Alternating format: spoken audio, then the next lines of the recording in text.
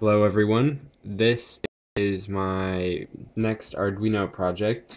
As you can see, this is running off of an Arduino Mega.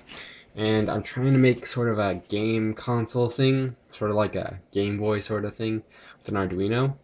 So, uh, yeah, this is a touchscreen, so it's going to be controlled by touch, and maybe I'll add in some buttons, but mainly through touch. And that's just a general idea of what I'm trying to make.